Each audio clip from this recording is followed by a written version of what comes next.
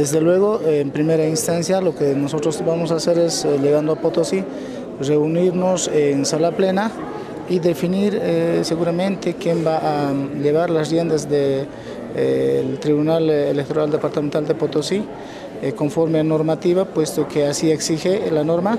Y eh, tenemos un eh, referéndum de eh, aprobatorio de la Carta Orgánica del municipio de Puna, que es lo que se viene, es lo inmediato también.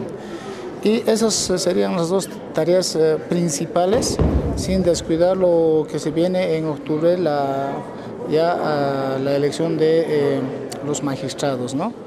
Hay mucho trabajo por hacer, principalmente el que se avecina es el referendo en la localidad de Puna, el 9 de julio. Entonces el martes ya vamos a tomar conocimiento y vamos a empezar a trabajar como corresponde y asumir ese, primero, ese primer referendo. ¿no?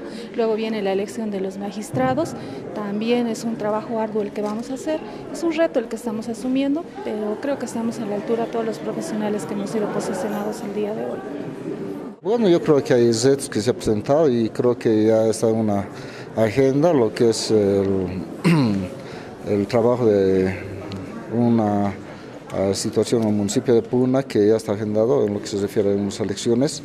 Para esto creo que vamos a tratar de coordinar y vamos a ver lo que corresponde, ¿no? Y siempre enmarcándonos en la normativa que ya se ha lanzado, ¿no? Entonces, desde ese punto de vista creo que es el reto continuar con este trabajo que ya está planificado. El reto que se viene es muy grande, ¿no?